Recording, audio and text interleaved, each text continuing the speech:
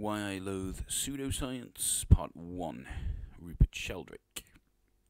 Pseudoscience, also known as junk science, is the art of taking utterly unscientific ideas and dressing them up with sciencey sounding language in order to give them the superficial appearance of actual science. Popular forms of pseudoscience include young earth creationism, climate change denialism, homeopathy, chiropractic, crystal healing, Reiki, acupuncture, parapsychology, anti vaccination, and so on and so forth. What most obviously distinguishes pseudoscience from actual science is the fact that pseudoscientific conclusions are not arrived at by application of the scientific method. In other words, they don't provide anything that is observable or testable. Rather, they simply make claims and expect them to be given the same level of credibility as actual scientific hypotheses that have survived the intense scrutiny of the peer review process. Rupert Sheldrake, parapsychologist and proponent of morphic resonance, has criticized the scientific method.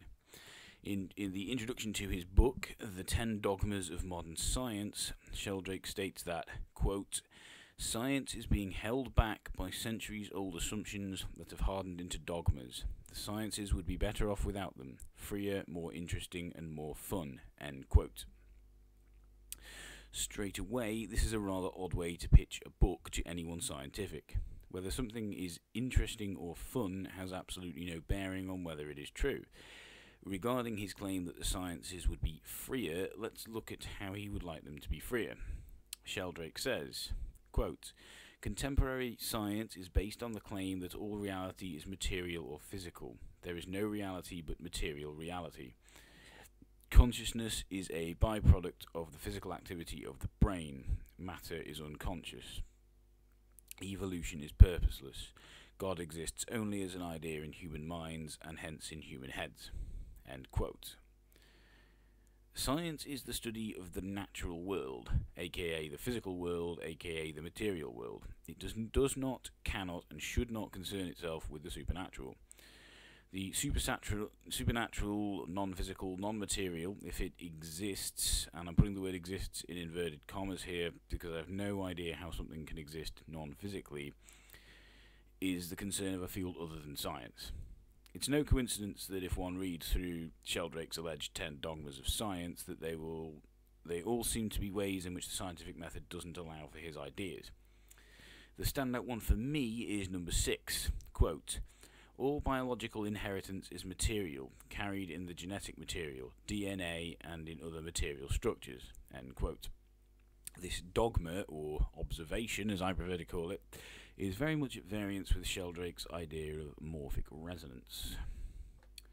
Morphic resonance, from what I can gather, is a proposed non material force that controls biological evolution.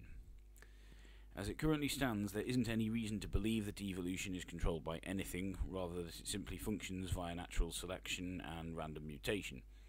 This isn't a dogma, it's just an observation. Sheldrake accuses modern science of making the, quote, assumption that matter is unconscious, end quote, but it would be more accurate to say that he's making the assumption that it isn't. Occam's razor, which Sheldrake should be familiar with, he even appeals to it when it suits him, dictates that we sh should make as few assumptions as possible. It seems necessary to repeat here that science is the study of the natural, physical, material world. Supernatural, non physical, non material notions are not of interest to scientists, at least not while they're at work. There are scientists with beliefs in the supernatural, e.g., uh, religious beliefs, but said beliefs do not intrude into the work they produce. The big clue is that there's never been a peer reviewed paper explaining the existence of any god. The, the fact that science doesn't, science doesn't concern itself with the supernatural is no more an indication that science is flawed than geographers not composing symphonies is an indication that geography is flawed. Uh, science deals with that which is falsifiable, i.e., testable. Supernatural claims are unfalsifiable, i.e., untestable. Ergo, they are not something science should be dealing with. Science cannot be considered flawed because it can't test that which is untestable. It is rather these hypotheses which are flawed because they can't be tested. A somewhat feeble attempt at defending Sheldrake's ideas I've had levelled me at me is that they aren't supernatural. I'm no expert on the supernatural, due in no small part to the fact that I don't believe it exists, But if a hypothesis doesn't come with some sort of naturalistic mechanism, then it certainly can't be considered natural.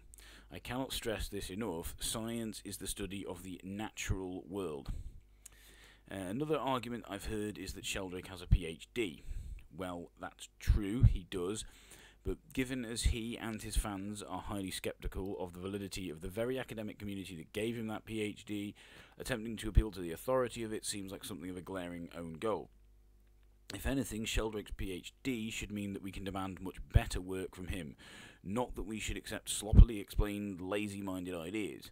Sheldrake hasn't written a peer reviewed article since the 1980s, and the actual number of articles he has authored that have been peer reviewed is less than half the number he claims. A better title for Sheldrake's 10 Dogmas of Science would be A List of Reasons Why My Ideas Aren't Scientific. If anyone can conceive of a better method than the scientific method for making discoveries that will improve our lives, then I will take it seriously when it can demonstrate, demonstrate itself in action, making said discoveries. But the problem is, the demand for demonstration is a scientific demand, ergo not one that I think will ever be met by anything unscientific. Uh, even if we overlook this problem, we have to remember that discoveries made by means other than the scientific method can't, for obvious reasons, be considered scientific. Sheldrake isn't making science freer, he's made himself freer by no longer practicing science. When Sheldrake describes himself as being pro science, while simultaneously peddling a book called The Science Delusion, he is talking out of both sides of his mouth.